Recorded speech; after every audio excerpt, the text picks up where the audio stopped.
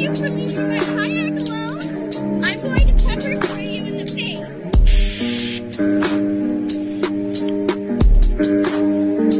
Why are you breaking my kayak?